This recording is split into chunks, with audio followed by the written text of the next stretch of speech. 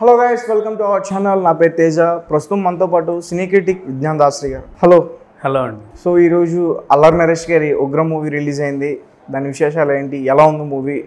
అని ఒక mass angle ఇందులో కనిపిస్తున్నట్టు మనకు అనిపిస్తుంది. సో మీరు ఎంత రేటింగ్ ఇస్తారు? ఏంటి మూవీ విషయాలు? సో ఓవరాల్గా చెప్పాలి అంటే ఈ సినిమా ఫస్ట్ టైం సో ఒక typical police officer drama and suspense థ్రిల్లర్ని elevate చేసేలాగా first Allari Naresh first time చేశాడు దీంట్లో. అది నిజంగా చాలా బాగుందని చెప్పుకోవాలి. అండ్ సిఐ శివకుమార్ క్యారెక్టర్ బేసిక్గా ఆయన ఒక మంచి డీసెంట్ పోలీస్ ఆఫీసర్ అంటే తెలిసిందే మంచి పోలీస్ అంటే ఎలా ఉంటాడో మనకు తెలుసు. సిఐ శివకుమార్ ఎలా అంటే ప్రేమించి పెళ్ళి చేసుకున్నాడు మిర్నా అనే అమ్మాయిని వీళ్ళకో పాప. సో ఆ, బాగానే జరిగే ఫ్యామిలీ అందంగా వెళ్తుంది. ఇతని డ్యూటీ కూడా బాగానే ఉంది అనే టైంలో అన్ఎక్స్పెక్టెడ్గా ఒక పెద్ద యాక్సిడెంట్ అయిపోతుంది. పెద్ద యాక్సిడెంట్లో ఈయనకి అందరికీ దెబ్బలు తగులుతాయి. సో ఏమైందా అని చూస్తే ఈయన మెమరీ మర్చిపోతాడు. అల్లరి నరేష్ గారు. మెమరీ మర్చిపోతాడు. తర్వాత అఫ్ కోర్స్ వీళ్ళు కూడా కనబడరు ఆ తర్వాత భార్య పిల్లలు పాప. సో మెమరీ మర్చిపోతే వీళ్ళు గుర్తుపట్టలేదు అన్నట్టుగా అనుకుంటాం కానీ నిజంగానే వీళ్ళు మిస్ అవుతారు. ఆ టైంలో వీళ్ళతో పాటు ఇంకా చాలా మంది మిస్ అవుతూ ఉంటారు. ఎవరు ఎందుకంటే ఒక హ్యూమన్ ట్రాఫికింగ్ టీం వీళ్ళని కిడ్నాప్ చేస్తూ ఉంటుంది. సో అర్థం చేసుకోవచ్చు. హ్యూమన్ ట్రాఫికింగ్ ఏం చేస్తారు? అమ్మాయిల్ని కిడ్నాప్ చేసి ఎక్కడికో సరఫరా చేసి ఈ బిజినెస్ ఇలాంటి బిజినెస్లు చేస్తారు. సో వాళ్ళ మోటివ్ ఒకటే. వాళ్ళకి కావాల్సింది అమ్మాయిలు వీళ్ళు కిడ్నాప్ చేస్తారు. అందులో క్రమంగానే అన్ఎక్స్పెక్టెడ్ అల్లరి నరేష్ భార్య పిల్లలు కూడా వెళ్ళిపోవాల్సి వచ్చింది. ఇది ఓవరాల్గా కథ. కాకపోతే రొటీనే ఎక్కడైనా సరే ఇప్పుడు ఒక సైకో ఉన్నాడంటే వాడి మెయిన్ థీమ్ కొట్టడమే. వాడికి వేరే ఇంకేం ఉండదు. దానికి ఒక రీజన్ కూడా ఉండదు. హారర్ది ఒక జోనర్ వీటిది ఒక జోనర్. ఈ థ్రిల్లర్ ఆస్పెక్ట్లో వాడు ఎందుకు చేశాడనేది హ్యూమన్ ట్రాఫికింగ్ చేస్తుందని మనకు అర్థమైపోయింది. కాకపోతే వాళ్ళని రీచ్ అయ్యే క్రమంలో అల్లర్ నరేష్ జర్నీ కాస్త ఇంట్రెస్టింగ్గా ఉంటుంది. నెక్స్ట్ నెక్స్ట్ ఏమవుతుంది? నెక్స్ట్ ఏమవుతుంది అనే ఒక క్యూరియాసిటీ ఇవన్నీ కూడా బాగా క్రియేట్ చేశారు దీంట్లో. అయితే బేసిక్గా కామన్ సస్పెన్స్ సినిమాలకు కావాల్సింది ఏంటంటే చివరి వరకు దాన్ని మనం ఆ, ప్రేక్షకుడిని ఎంగేజ్ చేయగలిగే ఎలిమెంట్ ఉంటే ఏ సినిమా అయినా హిట్టే బేసిక్గా. లాస్ట్ వరకు తీసుకెళ్తుంది. దీంట్లో ఆ ఎలిమెంట్స్ అన్నీ కూడా పుష్కలంగా పెట్టుకున్నాడు కనకమేడల. సో బాగా పట్టుకున్నాడు. అండ్ ఇట్లాంటి సినిమాలకి మ్యూజిక్ బ్యాక్గ్రౌండ్ స్కోర్ అనేది చాలా ఇంపార్టెంట్. సో శ్రీచరణ్ పాకాల కూడా మంచి మ్యూజిక్ ఇచ్చాడు దీనికి. బాగా నిలబెట్టాడు. అలాగే ఇట్లాంటి సినిమాలకి ఆ నైట్ షూ షూట్స్ కానీ ఇవన్నీ కూడా మనం చూపించాలనుకుంటే సీన్స్ని బాగా ఎలివేట్ అయ్యేలా చూపించాలి సస్పెన్స్ని బాగా కనెక్ట్ చేయాలి అనుకుంటే సినిమాటోగ్రఫీ కూడా చాలా ఇంపార్టెంట్.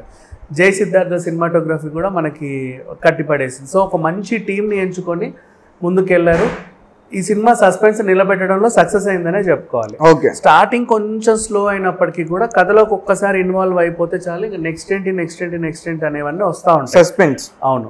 ఇక యాక్టింగ్ పరంగా మాట్లాడుకుంటే అల్లరి నరేష్గా మనకు తెలిసిందే ఏ జోనర్లు ఎలా చేస్తాడో అంత బాగా చేస్తాడు. ఈ అబ్బాయి పర్ఫెక్ట్ ఆర్టిస్ట్ అని చెప్తాం హీరో కంటే కూడా. ఎందుకంటే స్టార్టింగ్ అల్లరిలో వచ్చినప్పుడు ఎలా ఉన్నాడో చూసాం తర్వాత పార్టీలో ఎలా ఉన్నాడో చూసాం ఆ తర్వాత తొట్టి గ్యాంగ్లో ఎలా ఉన్నాడో మంచి మంచి. సీమ శాస్త్రి అవన్నీ అదొక. జోనరు.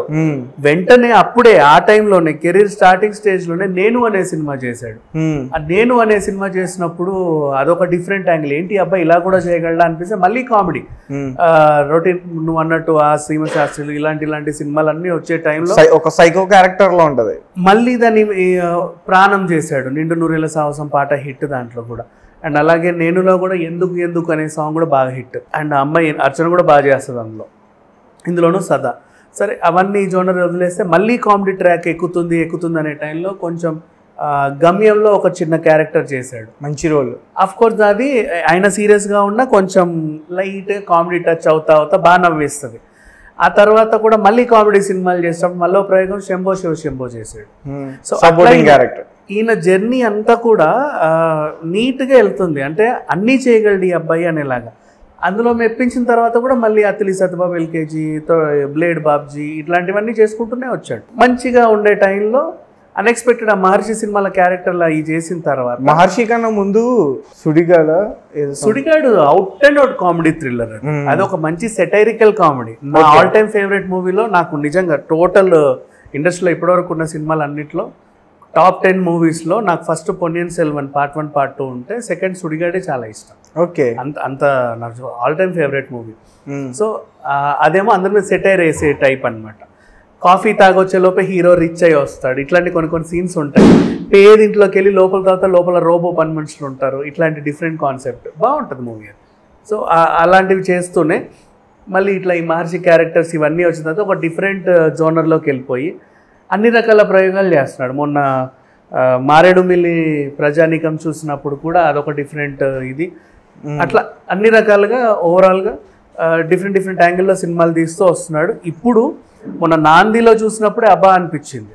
అండ్ ఇప్పుడు ఇది ఇంకొక వెరైటీ పర్ఫార్మెన్స్ బేసిక్గా పోస్టర్లో చూసినప్పుడే పోలీస్ నోట్లో కత్తి పెట్టుకొని మనకు దసరాలో నాని నోట్లో కత్తి ఉందంటే అనుకోవచ్చు? దసరాలో చూసాం ఆ, మూవీ ఏంటిది? కాంతారా?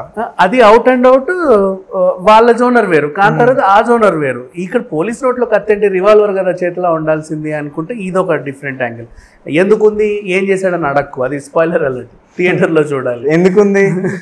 సో ఈ రకంగా చూసుకుంటే ఇతను చేజ్ చేసే క్రమంలో వాటిలలో వచ్చేస్తుంది. సో టెక్నికల్ వైజ్గా మాట్లాడుకుంటే డైరెక్టర్ అనుకున్న ప్లాట్ కానీ కథ కానీ దాని స్క్రీన్ ప్లే కానీ ఎవ్రీథింగ్ వీళ్ళిద్దరితో పాటు ట్రావెల్ చేసే అటు మ్యూజిక్ అండ్ ఇటు సినిమాటోగ్రాఫర్తో వీళ్ళ జర్నీ అనేది నిజంగా చాలా బాగా అనిపిస్తుంది స్క్రీన్ టు స్క్రీన్ మనకి ఇంకా ప్రొడక్షన్ వాల్యూస్ కూడా బాగుంటాయి. ఇంకా ఆర్టిస్ట్ల పర్ఫార్మెన్స్ విషయానికి వస్తే ఇంద్రజన్ మర్చిపోకూడదు మనం. డాక్టర్ క్యారెక్టర్లో ఇంద్రజ చాలా బాగా చేసింది అండ్ ఈ హీరోయిన్ బాగా చేసింది ఆ పాప కూడా బాగా చేసింది. ఓవరాల్గా ఒక మంచి సినిమా అని చెప్పుకోవచ్చు. సస్పెన్స్ని ఎలివేట్ uh, చేయడంలో ఈ సక్సెస్ అయిన సినిమా. సినిమాటోగ్రఫీ ఎలా ఉంది? చాలా బాగుంది. అదే చెప్పాను కదా జై సిద్ధార్థ ఇచ్చాడు. ఏ టు జెడ్ నైట్ యాంగిల్స్లో కూడా నిజంగా అంత బాగా చేశారు. లైటింగ్ అవన్నీ కూడా అందంగా కనపడ్డాయి.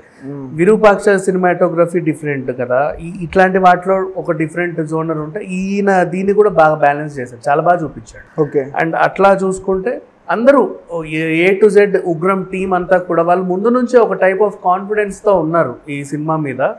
ఆ ప్రెస్ మీట్లు చూసినా ఇవన్నీ చూసినా బట్ దాన్ని నిలబెట్టుకున్నారనే చెప్పుకోవాలి.